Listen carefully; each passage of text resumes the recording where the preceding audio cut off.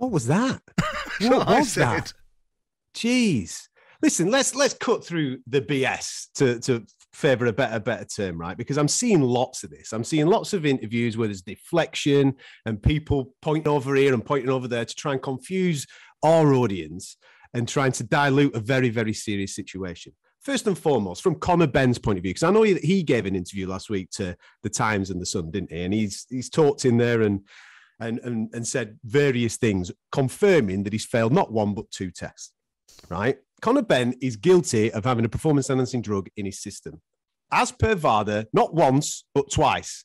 A test that he did in July, which came back in August, and then a test that he did at the start of September, which came back on the on the 23rd of September. He's also guilty of ignoring the first test. The attitude towards that failed first test from everybody involved is absolutely frightening. Now, the process going forward of what is going to happen, his legal team are going to present a plausible reason to the WBC, and the WBC will dish out some type of punishment. Don't hold your breath because the WBC last year tried to, in a very similar situation, on, and actually succeeded, proceed with a fight involving Oscar Valdez, who also failed a drug test, and they cracked on because they believed that the drug that he got uh, tested for and failed for wasn't a performance enhancing drug test. Uh, drug uh, uh, on the, it's absolute nonsense. Yeah. There's there it's on the ban, ban list for a reason. I'm hearing people say trace amounts, levels, wait for the science. The science is the test. The science is the test. He's failed the test because he's exceeded the levels that VADA have already put out there. So that's him. That'll that'll be the situation with Conor Benn, and that'll get dealt with. The more worrying thing for me, as you've just been speaking to Kalle Sauerland there, several significant figures in British boxing tried to proceed with a fight, were happy, were comfortable to proceed with a fight that had a fighter going into that fight that had failed multiple drug tests.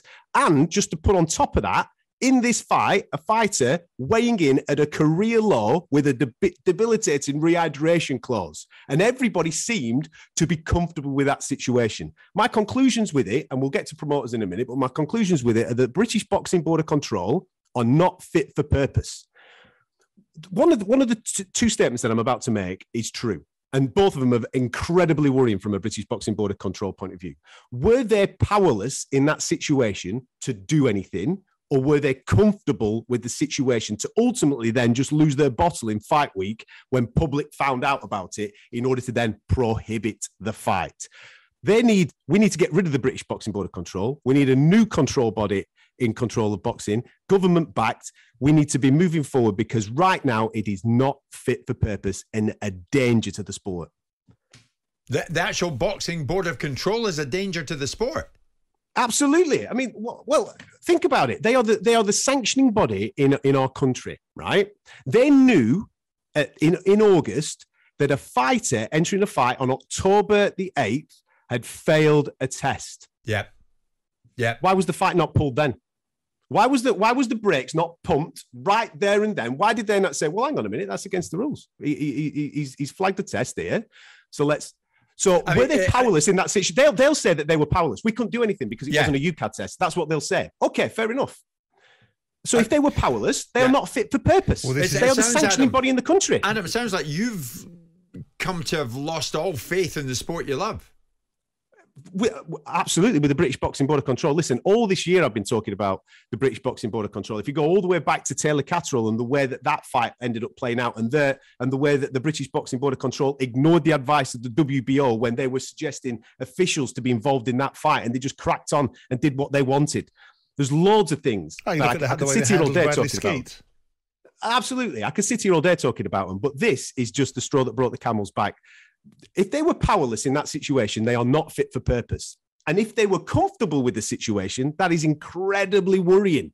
Something needs to be done because that is a worrying situation former, for us to go forward. I, I think the tail wags the dog. I think you've got some very high, powerful people with deep pockets that would have pushed the British Board, Boxing Board back on their heels after the first test and cited the legality of the UKAD position and pushed hard on that. And then when the second test came in, it was very difficult for them to get around it. And then the British Boxing Board of Control, or whoever it was, found a way to get this into the press. and allegations have been made that Robert Smith dropped it himself. I have my views on that, but notwithstanding it, one way or another, British Boxing Board of Control managed to find the courage of their convictions. I called them like a neutered dog that managed to grow a set of balls for once. I mean, to be fair, Robert Smith pushed back in that, Simon, with us, as, as you would Well, expect him well, to said- do. No, he didn't. He said, I disagree with that. That's, that's not the same as saying no. yeah, yeah. No, I didn't do that. And there's been all sorts of scandalous allegations that come out of it, uh, Adam, not least Eddie Hearn insinuating that maybe Chris Eubank Sr. Uh, should not have been in a, in a position whereby members of the media like ourselves would gain access to Eubank Sr. and get his view of what he thought his son was going into. Chris Eubank Sr. sounded perfectly sound of mind when he spoke to me. Absolutely perfectly of sound of mind when he spoke to me. Absolutely. Why, why would you not want his opinion? Exactly. He's, he's, he's, an, he's an esteemed, forget that he's obviously got a, a, family tie to the fight. He's an esteemed member of the boxing community. Why would you not want his opinion on it? So if you, listen, I don't, from, from a promoter point of view, you just had Kalle. This is how we got to this situation, listening to what Kalle was saying there. Everybody's trying to wash their hands of it and, and point things in a different Yeah, direction, yeah. saying that contractually we couldn't pull the fight. What's- you made the contract, guys. That's right. It was your contract. Are you telling me that there's no terms and conditions within your contract that you could have worked to worked against in order to pull that fight? Yeah. If that if that's if that's true, go and have a word with your legal team and make better contracts. But we both know, because Adam, that a failed drugs test would have frustrated a contract. It might not have been governance, and it's a technicality. They're all hiding behind technicalities and deflections. They're all hiding upon, you know, subterfuge and misrepresentations. Don't look over here, look over there. Look what happened to Billy Joe Saunders. Aha, that's his example. No, it's not. It's a completely different scenario. That's an out of competition drug. This is a drug that's been banned full stop. We all know, and people are dancing around it. And then when people don't dance around it, what they try to do is ridicule them or parody them and say they shouldn't be involved in talking about boxing and they're. Johnny come lately because Yeah. they don't like the questions. It's really, really simple. Two influential promoters with a huge fight with huge returns sought to overcome a failed drugs test to put a fight on. Jim White and Simon Jordan. Monday to Friday mornings from 10 on AM, on DAB, via the TalkSport app, and on your smart speaker. TalkSport.